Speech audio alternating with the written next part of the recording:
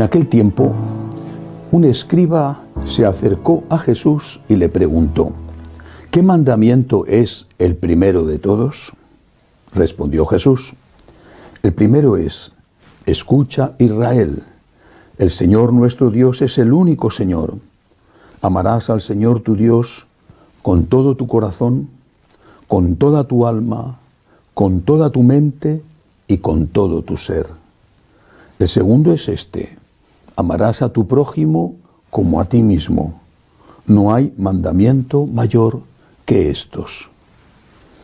El escriba replicó, Muy bien, maestro, sin duda tienes razón cuando dices que el Señor es uno solo y no hay otro fuera de Él, y que amarlo con todo el corazón, con todo el entendimiento y con todo el ser, y amar al prójimo como a uno mismo, vale más que todos los sacrificios y holocaustos. Jesús, viendo que había respondido sensatamente, le dijo, no estás lejos del reino de Dios. Nadie se atrevió a hacerle más preguntas. Palabra del Señor. Gloria a ti, Señor Jesús. Cuando tiene lugar esta conversación entre Jesús y un escriba, dice el Evangelio, los escribas solían ser casi todos ellos de la secta de los fariseos. También Jesús tuvo discípulos entre los fariseos. Pero en este momento nuestro Señor aún estaba lejos de dar su mandamiento, lo hizo en el marco de la última cena. Por lo tanto, hizo una catequesis que pudiera entender este fariseo, este escriba y habló de dos mandamientos. Primero, puso orden en los mandamientos, primero y segundo. Lo mismo que un biólogo describiría un árbol empezando por lo que no se ve, por la raíz, y después siguiendo por lo visible, el tronco, las hojas, las flores, los frutos.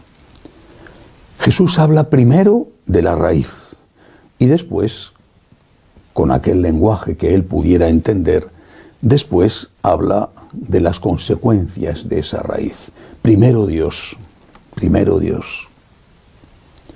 Y después el amor al prójimo. Pero primero Dios. No se pueden separar. No se puede tener una relación con Dios y robar, matar, mentir, no cumplir las propias obligaciones, hacer daño, no se puede. Pero ¿de dónde se sacan las fuerzas para amar a ese prójimo cuando no es fácil amarle, incluso para cumplir con el propio deber cuando no te apetece?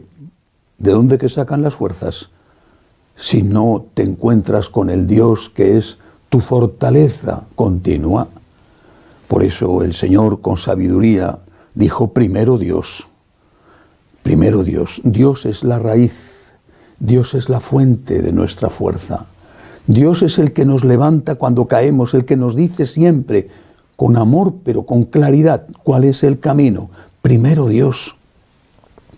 Sin una vida de oración no es posible seguir a Cristo, no es posible amar al prójimo. Sin una vida de oración, lo más que podemos hacer es dar la medida que humanamente tenemos, que en algunos sinceramente es muy pequeñita.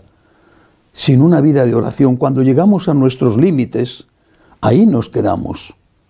E insisto, en algunos los límites son realmente bajos.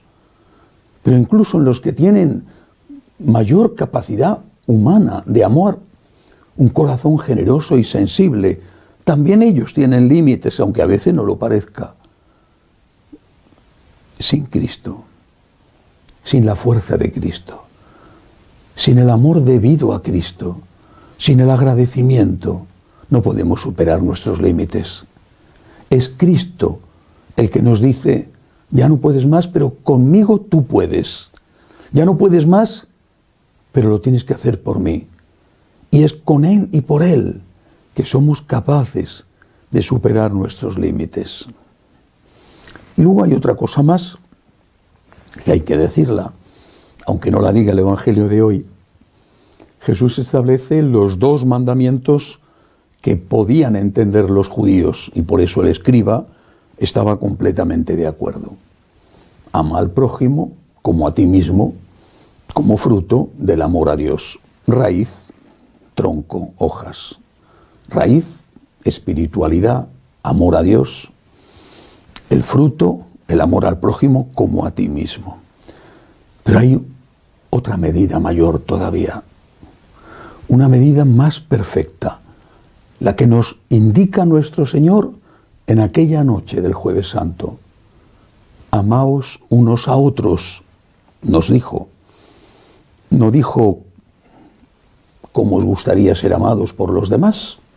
Ama al prójimo como a ti mismo. Dijo, amaos unos a otros como yo os he amado. Él es el modelo. Él es el modelo del hombre perfecto. Él es el hombre perfecto.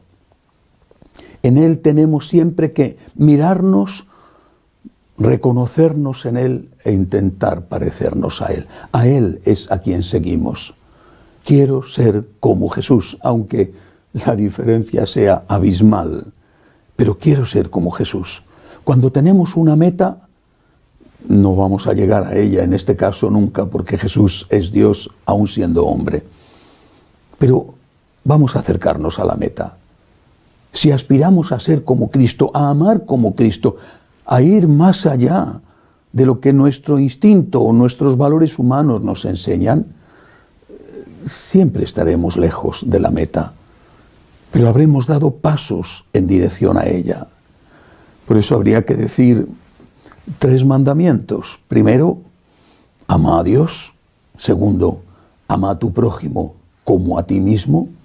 Haz lo que te gustaría que te hicieran a ti. Y tercero, haz lo que Cristo ha hecho por ti. Ama como Cristo te ha amado a ti. ¿Cómo te ha amado Cristo? ¿No te ha perdonado Él? ¿No te ha dado oportunidades Él? ¿No ha estado Él a tu lado aunque no te lo merecías? Ama a Dios, ama a tu prójimo por amor a Dios e intenta con todas tus fuerzas parecerte a Cristo. Que así sea.